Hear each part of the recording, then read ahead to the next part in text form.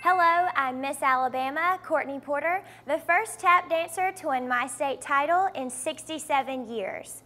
Now, every child dreams of being a champion, and I come from a state of winners. We are very proud of our two American Idols, Ruben Studdard and Taylor Hicks, and we have the distinction of having back-to-back -back college football national champions.